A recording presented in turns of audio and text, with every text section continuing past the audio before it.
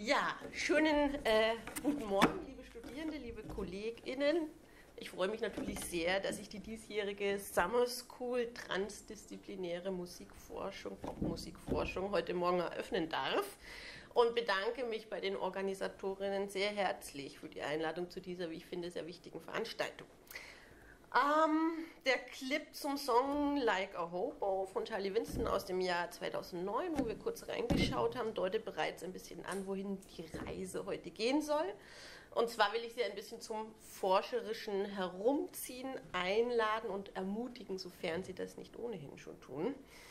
Ähm, dabei muss ich Sie allerdings gleich vorwarnen, dieses Herumziehen im wirklichen wie im forscherischen Leben hat, wie so alles, seine Vor- und Nachteile. Wenn wir kurz an das eben gezeigte Musikvideo zurückdenken, klingen dort bereits einige Privilegien, aber auch Stolpersteine bildlich an.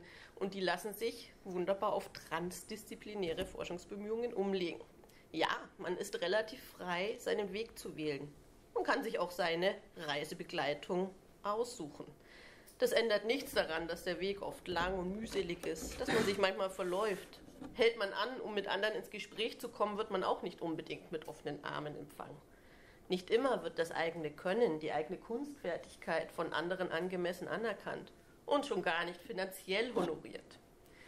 Das werden Sie spätestens dann feststellen, wenn Sie versuchen, für ein transdisziplinäres Projekt Forschungsgelder zu akquirieren, die über eine nette Geste hinausgehen. Eine Erfahrung, die wir in der Musiksoziologie als eine Transdisziplin ständig machen müssen. Denn Forschungsanträge werden immer auch von VertreterInnen der eher sesshaften Disziplin begutachtet, die primär aus ihrer Warte argumentieren. Und ein Recht machen kann man es mit transdisziplinärer Forschung eben selten. Ein mittelmäßiges Gutachten reicht und schon sind sie raus aus dem Rennen. Das soll aber kein Grund sein, sie in ihren Bestrebungen zum Umherschweifen zu entmutigen. Vielleicht kann es Sie vorläufig trösten, dass die Sesshaften im Clip nun auch nicht gerade den Eindruck ungetrübter Lebensfreude machen. Mit dem Bemühen um Transdisziplinarität sind wir in der Musikforschung auf dem richtigen Dampfer, meine ich. Und sonst wäre ich auch heute nicht hier. Ähm, Musiksoziologie als frühe Transdisziplin ist so ein bisschen jetzt der erste Schwerpunkt im Vortrag. Ähm, wie ich schon gesagt habe, ist ein Fachgebiet, für das das Umherwandeln das Kennenlernen verschiedener Fachdisziplinen von ihr essentiell ist. Und das hat auch damit zu tun, dass Musiksoziologie von Anfang an auf Theorien und Methoden zurückgreifen musste, die eigentlich in anderen disziplinären Zusammenhängen entwickelt wurden, also die sich Musiksoziologinnen sozusagen für ihre Zwecke ausgeliehen und an ihre Fragestellung angepasst haben. Und dieses Vorgehen hat, wie wir gleich noch sehen werden, nicht nur in der Musiksoziologie-Tradition, sondern ist eigentlich gute transdisziplinäre Forschungspraxis. Im Titel meines heutigen Vortrags spreche ich von der Musiksoziologie als der, naja, sagen wir es zumindest etwas milder, einer Mutter transdisziplinärer Musikforschung. Und es geht mir damit gar nicht darum, aus einem Edge, wir waren schon sehr viel eher da, irgendwelche hegemonialen Ansprüche abzuleiten, sondern ich möchte mit dieser Formulierung lediglich darauf hinweisen, dass man es in diesem Forschungsbereich schon ziemlich lange etwa seit den 1960er Jahren mit Überlegungen zum disziplinenübergreifenden wissenschaftlichen Arbeiten in Bezug auf Musik zu tun hat. Wie wir noch weiter sehen werden, wird es ähm, gibt es in der Argumentation starke Überschneidungen zu Diskursen rund um Inter- und Transdisziplinarität, wie sie dann einige Jahre später, etwa in den 80er Jahren, und quer durch alle möglichen Wissenschaftsbereiche hindurch entwickelt und geführt wurden. Wobei diese, wobei diese Diskurse dann sicherlich im Zusammenhang mit dem einsetzenden Boom der Kulturwissenschaften zu sehen sind. Ähm, Johannes Feichtinger und Mitarbeiter schreiben dazu, dass die Kulturwissenschaften mit ihrem Mut zur Unschärfe, zur Mehrdeutigkeit, zur Vorläufigkeit einen geeigneten institutionellen Rahmen für die Erprobung inter- bzw. transdisziplinärer Arbeitsweisen angeboten haben. Schauen wir also kurz zurück, bevor wir in die Gegenwart und die Zukunft transdisziplinärer Musikforschung, sei es nun Pop oder auch nicht, schauen werden. Wie kam es dazu, dass man Mitte der 1960er Jahre in Wien die Einführung eines Fachgebiets Musiksoziologie offenbar als notwendig erachtete und befürwortete. Kurt Blaukopf, das ist der Initiator des Wiener IMS, so die Abkürzung, begründete die Notwendigkeit folgendermaßen. Die Musiksoziologie leitet ihre Legitimation aus dem Umstand her, dass die etablierten Einzelwissenschaften zahlreichen Gegenständen der Untersuchung allein nicht gewachsen sind, was im Grunde innerhalb der menschlichen Gesellschaft innig miteinander verbunden blieb, wurde unter dem Zwang gesellschaftlicher Arbeitsteilung und zum Vorteil gründlicher Detailanalyse den Einzeldisziplinen zugewiesen. Dieser Prozess führte im 19. Jahrhundert auch zur Etablierung der Musikwissenschaft als selbstständiger Disziplin. So, die Musiksoziologie hebt die Isolierung der Musikwissenschaft in ihrem Bereich wieder auf, indem sie den Gegenstand der Untersuchung, bei Blaukopf die musikalische Praxis, in das gesellschaftliche Bezugssystem einbettet. Schauen wir uns das Ganze noch etwas genauer an. Die Genese der Musiksoziologie erwächst ganz offensichtlich aus einer Unzufriedenheit mit der damaligen Forschungssituation, aus einem festgestellten Mangel. Blaukopf ist der Meinung, dass die bestehenden Disziplinen nicht mehr in der Lage sind, für sich allein adäquate Antworten auf gegenwärtige Forschungsprobleme zu liefern. Warum sind sie dazu nicht mehr in der Lage? Erstens, weil das Leben in modernen Gesellschaften immer komplexer wird und auch ihre Hervorbringungen, so auch die kulturell-künstlerischen, schwerer fassbar werden. Denken Sie nur daran, wie grundsätzlich sich Musik in den letzten Jahrzehnten in ihren Formen, wie auch unser Umgang mit ihr geändert haben. Zweitens, die Forschung in den Einzeldisziplinen lieferten deshalb keine befriedigenden Erkenntnisse mehr, weil sie häufig in Blaukopf nennt das glanzvoller Isolierung äh, betrieben werden. Man hatte aufgehört, miteinander zu kommunizieren und verkroch sich im sprichwörtlichen Elfenbeinturm.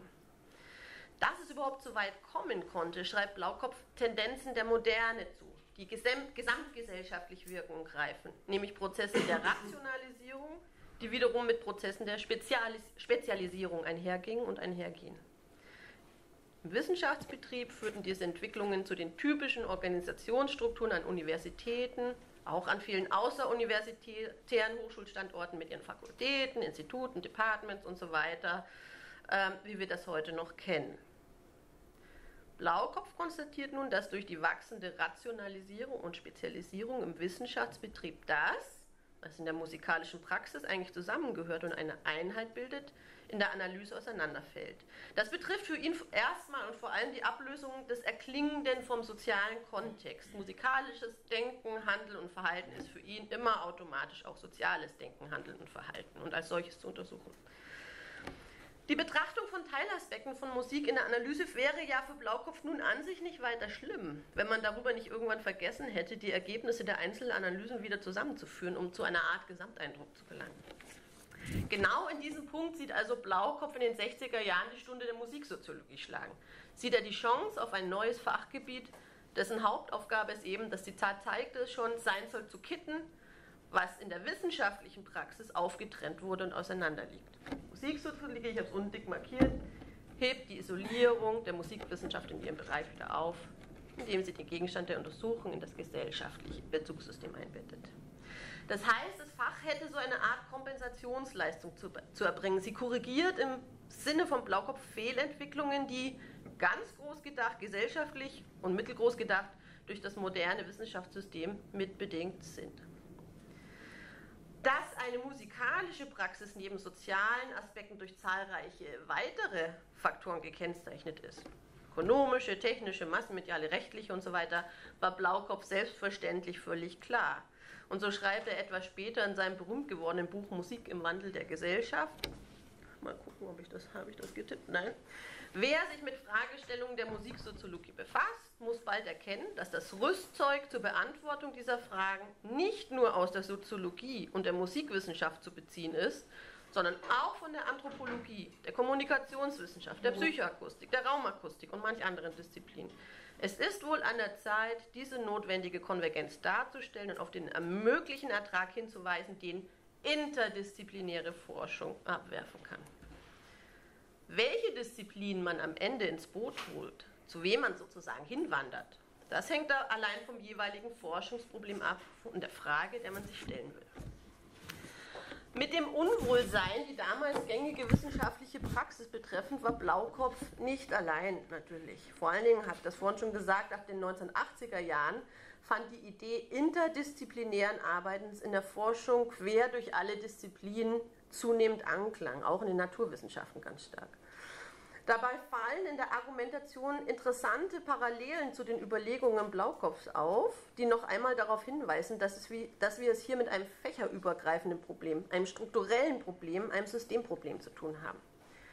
Jürgen Mittelstraß, ein Philosoph, der 1986 auf einer Bielefelder Tagung den Begriff der Transdisziplinarität wohl erstmal ins Spiel brachte und näher definierte, sieht die Notwendigkeit zu inter- und transdisziplinärer Forschung als eine Reaktion auf fortschreitende Spezialisierungen im Wissenschaftsbetrieb sowie auf die historisch gewachsene Fakultäten- und Disziplinenstruktur an.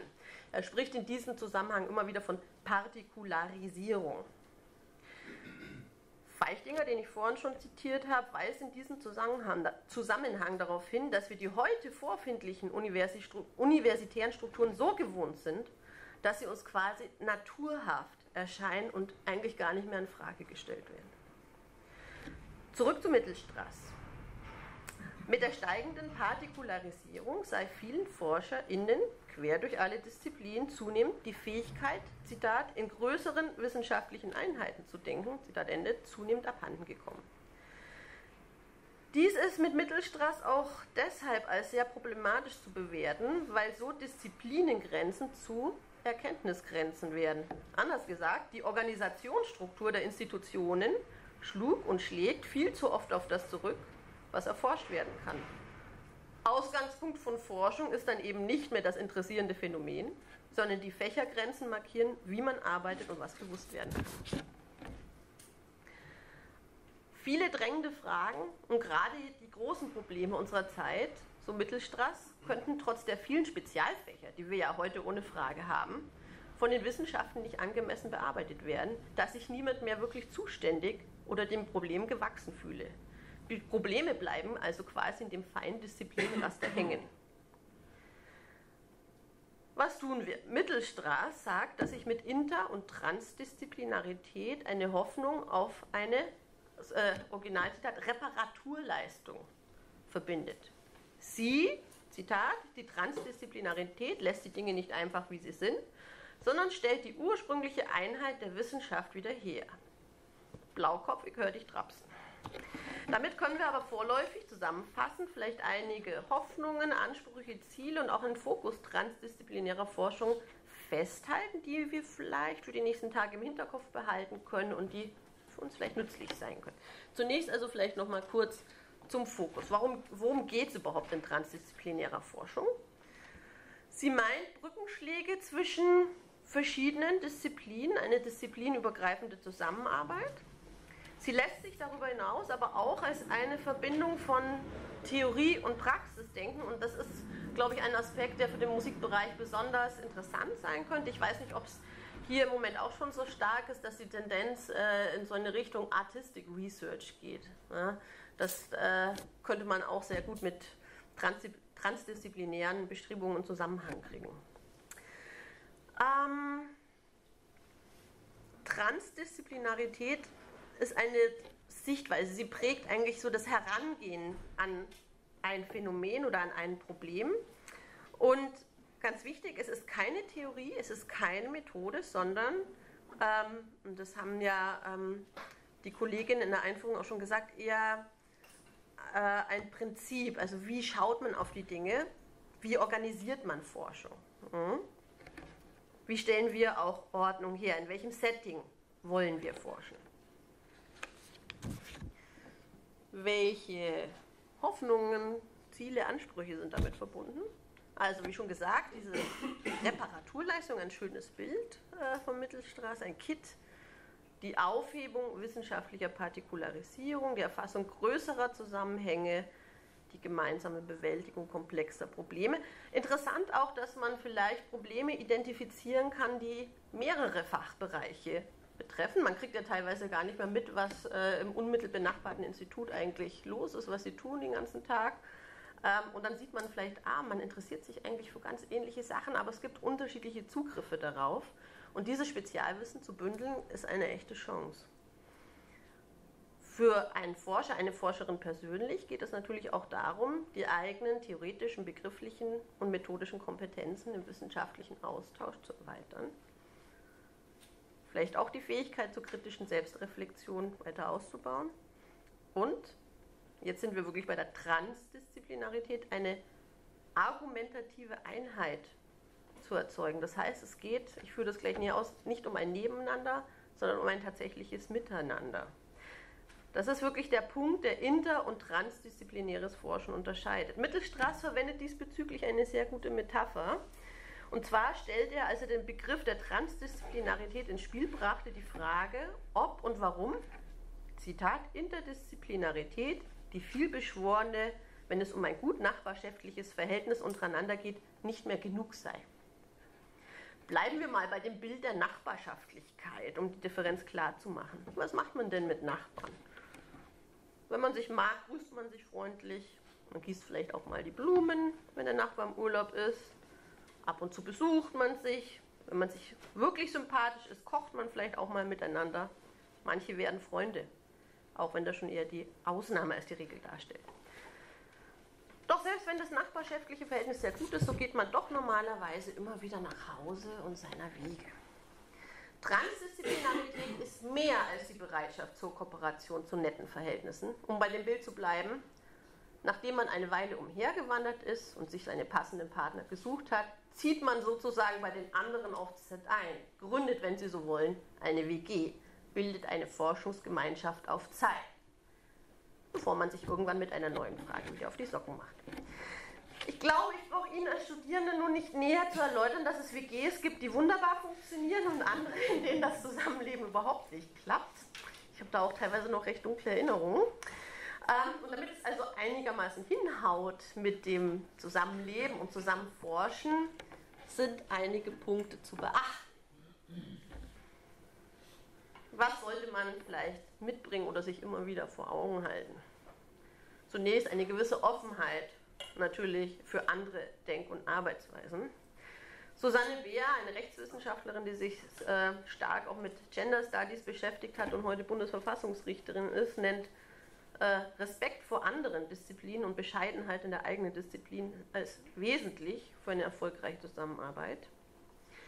Und zwar auch dann, wenn man vielleicht mit den Standpunkten oder Ansichten der anderen erstmal gar nicht einverstanden ist und denen eher skeptisch gegenübersteht. Bär warnt ferner vor einer Interdisziplinierung. Damit meint sie die Tendenz, eine Tendenz, die kritisch abspricht, aber wenig konstruktiv aufgreift, die eher nach Brüchen ne, als nach Überlappungen fragt, die also eher destruktiv abgrenzend als konstruktiv hereinholen verfährt. Ne, es geht also nicht zu sagen darum, ich kann das und das sind die anderen, die können irgendwas anderes, sondern eher darum, nach Verbindungen zu suchen was, was verbindet uns bei aller Unterschiedlichkeit sozusagen. Was noch? Tja, wer transdisziplinär forschen will, der muss vor anderen zugeben können, dass man etwas alleine nicht schafft. Das finde ich nach wie vor äh, einen ziemlich schwierigen Punkt, ehrlich gesagt. Äh, man muss offen zugeben können, dass man auf die Hilfe anderer angewiesen ist und man muss diese Hilfe auch annehmen, kann, annehmen können. Man zeigt also eine gewisse Verwundbarkeit. Ja, das ist auch nicht jedermanns Sache. Man muss sich damit wirklich auseinandersetzen. Man muss auch bereit sein, das, was man schon gelernt hat, was man kann, was man weiß, der Kritik auszusetzen. Mittelstraß nennt das Entdisziplinierung im Argumentativen, diesen Prozess. Und wenn man das alles geschafft hat, muss man schließlich eben in der Lage sein, gemeinsam äh, die Ansätze zu reformulieren. Korrigieren Sie mich bitte, falls ich mich irre, aber dass dies im Bereich der Erforschung populärer Musik schon einmal gelang, wäre mir ehrlich gesagt nicht bekannt. Wir haben eine wunderbare, inzwischen auch große Anzahl an hochinteressanten Einzelstudien zu allen möglichen popmusikalischen Phänomenen aus der ganzen Welt. Was auch sehr gut funktioniert, sind interdisziplinäre Zugänge, also dieses freundliche Nebeneinander, unterschiedliche Ansätze, die aber eben weitgehend unverbunden bleiben. Ich nehme mein eigenes, kürzlich erst publiziertes Buch zu Black Metal und transdisziplinarer Forschung davon überhaupt nicht aus. Ähm, der Fokus müsste also jetzt langsam darauf liegen, äh, wie wir versuchen können, dieses Wissen wirklich zusammenzuführen und auch irgendwie äh, ein gemeinsames Produkt, da wir Wissenschaftlerinnen sind, wahrscheinlich einen Text zu erzeugen. Ich habe auch darüber nachgedacht, dass es in transdisziplinärer Forschung vielleicht eines Moderators oder einer Moderatorin bedürfte, die ganz gezielt äh, den Fokus auf dem Verknüpfen der Zusammenhänge hat und den Diskurs auch ein bisschen moderiert. Mhm. Ich denke auch, dass ein transdis transdisziplinäres Projekt im Pop-Bereich im Sinne von Mittelstraß strukturell andere, äh, andere Voraussetzungen hätte, als wir sie eben momentan vorfinden. Warum ist Transdisziplinarität ein guter Ausgangspunkt, wenn wir uns Musiken der Gegenwart zuwenden? Das glaube ich schon, dass das so ist. Ich könnte in dieser Angelegenheit leicht mit Peter Wicke argumentieren, der immer wieder auf den medialen Charakter populärer Musik verwiesen hat, aber das kennen Sie wahrscheinlich schon. Deshalb möchte ich heute einmal jemand anderen äh, ins Boot holen, Umberto Eco, der vor langer Zeit schon in den 60er Jahren über die Offenheit des Werks geschrieben hat. Damit beschreibt er das Phänomen, dass ein Werk, ja, das ist das, dass ein Werk, oder sagen wir für unseren Kontext, ein Song, ein Stück, ein Track, dem es sich erst im Auge, im Ohr, im Körper des Betrachters oder der Betrachterin vollendet, sich gleichzeitig durch Abgeschlossenheit wie auch durch Unabgeschlossenheit auszeichnet. Er schreibt, der Künstler, so kann man sagen, bietet dem Interpretierenden ein zu vollendendes Werk. Wer sind nun die InterpretInnen? Das können natürlich die ausführenden MusikerInnen sein, das können Menschen sein, die zu einem Track tanzen, und das können Menschen sein, die sich wissenschaftlich mit einem Stück beschäftigen. Obwohl also für den oder die Herstellerin ein Werk irgendwann fixfertig ist, bleibt es gleichzeitig unabgeschlossen, weil es in seiner Interpretation eine ständige Renaissance erfährt. Es gibt also, so könnte man sagen, immer nur vorläufige Vollendungen. Nochmal Umberto Eco. Jede Ausführung erläutert, aber erschöpft es nicht. Jede Ausführung realisiert das Werk, aber alle zusammen sind komplementär zueinander. Jede Ausführung schließlich gibt uns das Werk ganz unbefriedigend und gleichzeitig unvollständig, weil sie uns nicht die Gesamtheit der Formen gibt, die das Werk annehmen könnte. Das ist sehr schön, wie ich finde, aber in gewisser Weise auch niederschmetternd, weil ähm, eine solche Annahme doch klar auch die Grenzen der Erkenntnis, denen wir unterworfen sind, markiert.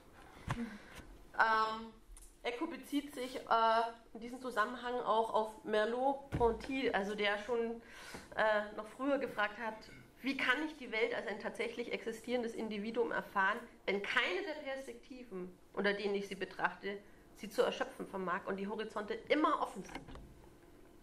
Auf unser Bestreben umgelegt, wie kann man vernünftig forschen, wenn man von vornherein um die Begrenztheit der eigenen Darlegungen weiß?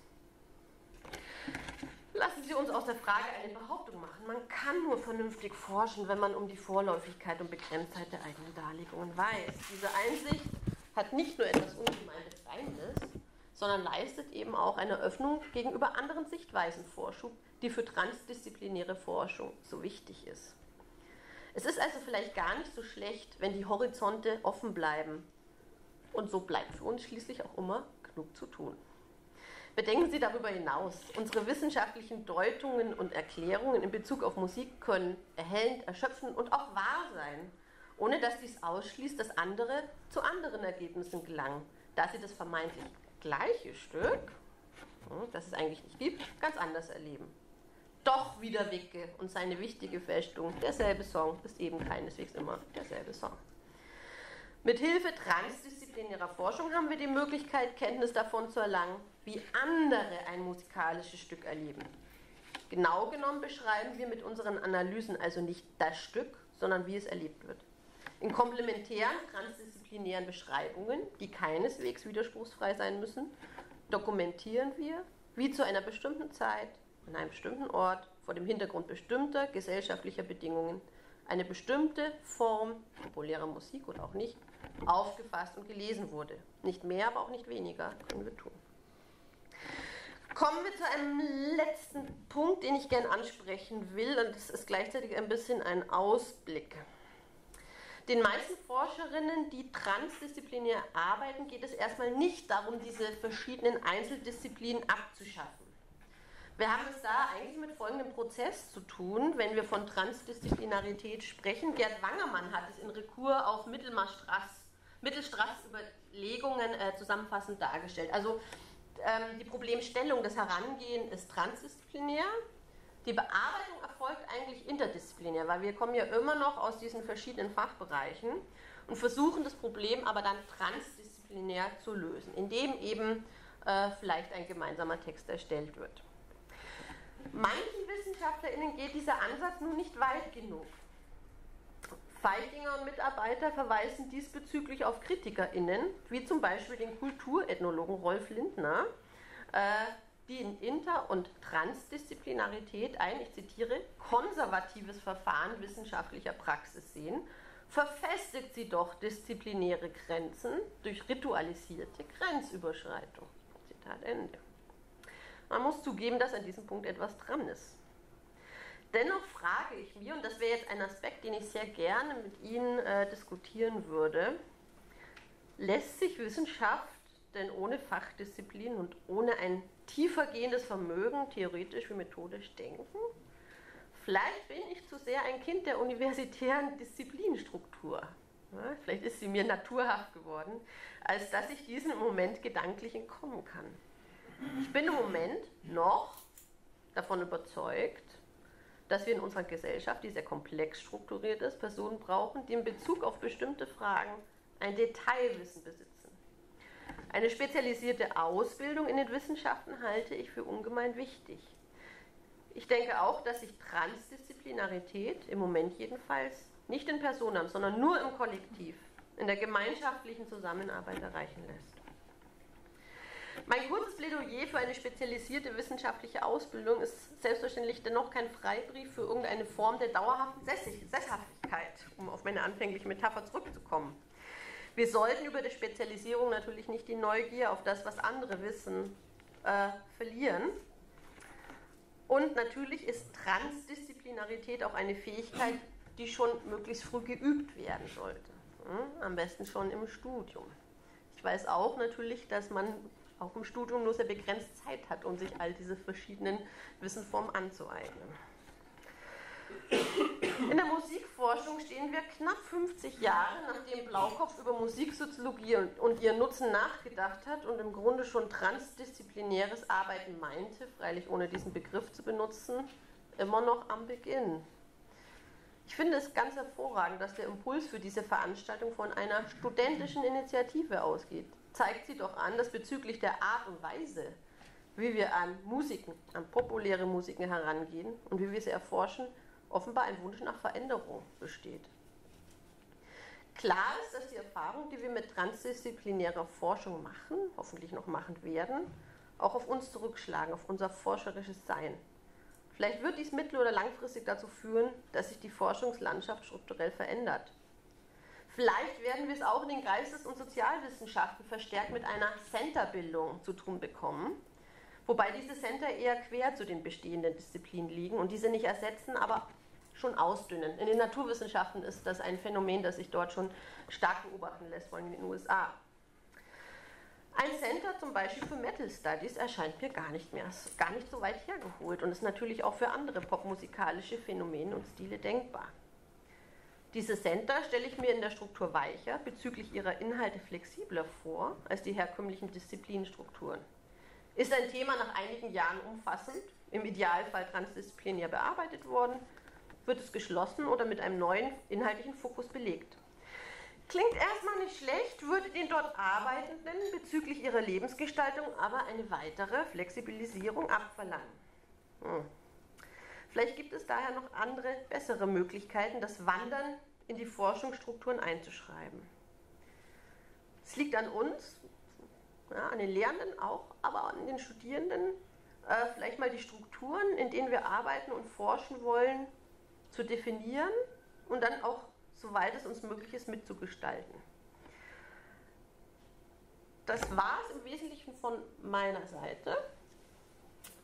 Ähm, ich bedanke mich ganz herzlich für Ihre Aufmerksamkeit und würde gerne noch, wenn das Video funktioniert, ganz kurz 30 Sekunden äh, in einen Clip reingehen von einer Interpretation ist das, das der berühmten Wandervogelhymne. Ich weiß nicht, ob Sie die kennen, die ja auch so den Ursprung der Jugendkulturen darstellt. Und die letzte Strophe fand ich äh, recht passend zu unseren Bemühungen. Schauen wir mal. Drei.